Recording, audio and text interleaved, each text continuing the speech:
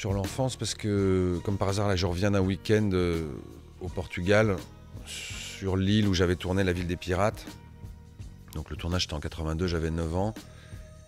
Et évidemment, l'île a beaucoup changé depuis tout ce temps et tout ça. Mais quand même, je me suis dit, c'est bizarre, à cette époque-là, ma mère m'avait laissé tout seul euh, jouer dans ce film où je joue le mal absolu, donc qui, qui revient tous les 10 ans, une espèce de fantôme qui tue toute sa famille et qui euh, couche avec sa sœur ou sa mère, on sait pas trop. Enfin bref, un truc vraiment très dark et très presque un personnage diabolique.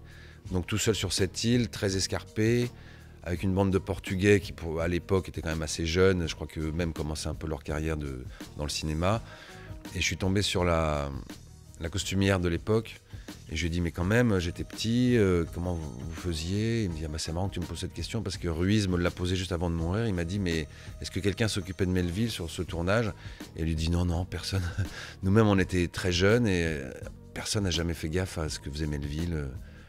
Et donc, je me, je me revois sur cette île euh, au Portugal avec ces Portugais qui s'occupaient de faire le film et, qui et moi, je me rappelle, j'étais comme une espèce de petit fantôme aussi qui, faisait sa vie un peu dans un monde parallèle. Quoi. Euh, évidemment, j'en ai ramené beaucoup de souvenirs, mais j'ai quand même cette image d'un enfant un peu fantomatique sur, euh, sur cette île.